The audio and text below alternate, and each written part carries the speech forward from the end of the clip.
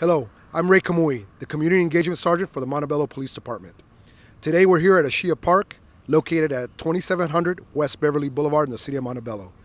If you live near this park, we'd like to see you here August 3rd at 5 p.m. for our National Night Out. Hope to see you.